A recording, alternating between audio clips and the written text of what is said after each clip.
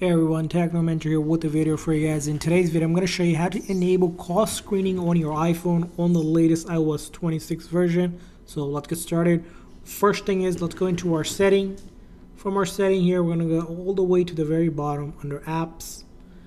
And under apps here, we're going to look for the phone apps. So let's go down a little bit further in the P section, phone.